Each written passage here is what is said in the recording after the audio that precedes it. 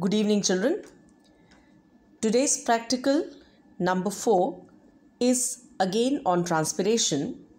You will write down today's date, 26 July, and the aim of experiment is what you can see I have written in the red pen, right? So the black bold alphabets here, the letters I have cut. Instead, your aim of experiment becomes to demonstrate uptake of water and the rate of transpiration using Ganong's potometer. Now this we have already discussed while we were discussing the ch chapter transpiration. The setup is like this. There's a beaker. We take water in this and we add a colored dye called eosin. Then there's a bent capillary tube.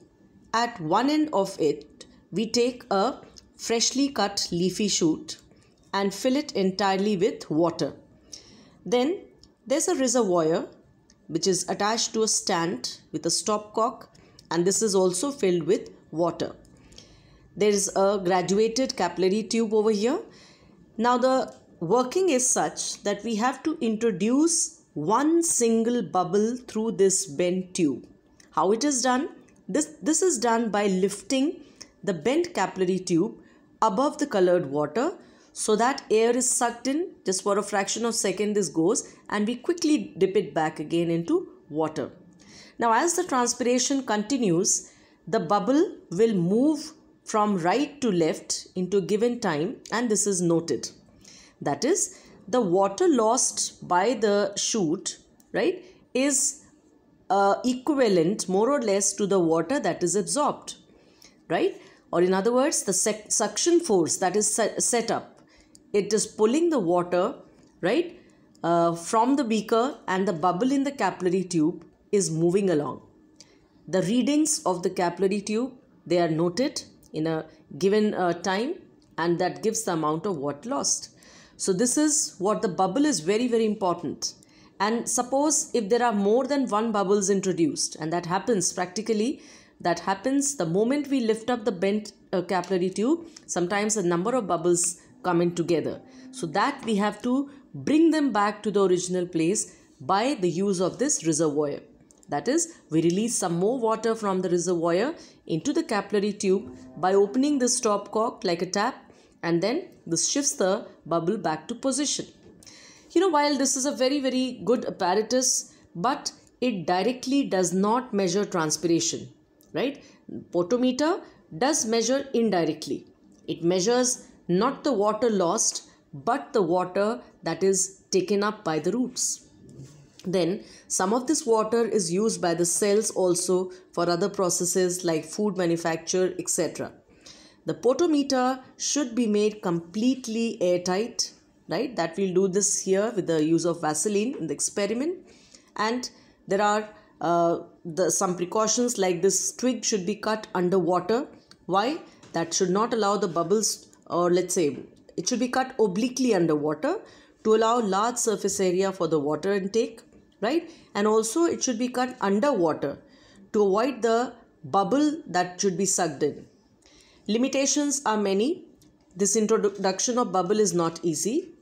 The twig may not uh, remain alive for a long time and the changes in outside temperature right that will affect the position of bubble but the same can be kept into different conditions like under a fan or in direct sunlight in dark and we can study the rate of transpiration.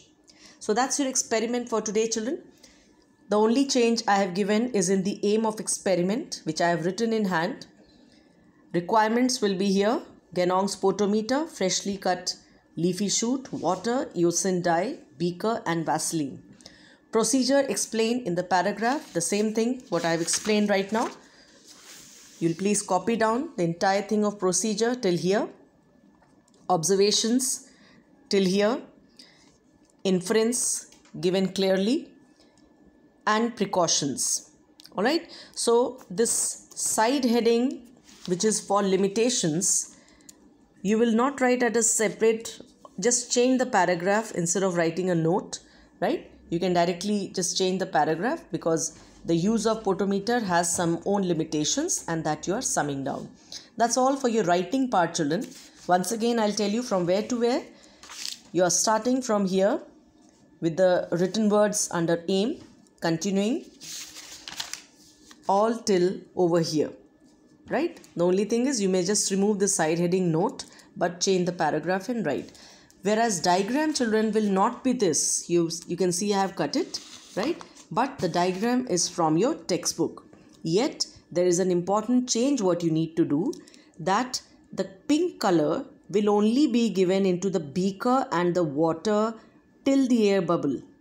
After the air bubble the water you will be uh, just coloring in white uh, sorry in light blue color with a pencil because this is pure water right? This is not the pink color in your textbook if you see the entire thing is pink whether here or here or here. But that you will just change children because the colored water has been sucked up by the bubble till the threshold of the bubble limit. Beyond this is water so that you can just show by blue colored pencil. That's all for today children. This will be your fourth practical and the assigned date that i'll be giving will be till 31st of july. And on that day i'll give you the fifth practical all right any questions you may uh, kindly ask it on the window there or uh, uh, just drop in a message so I can reply it. Thank you.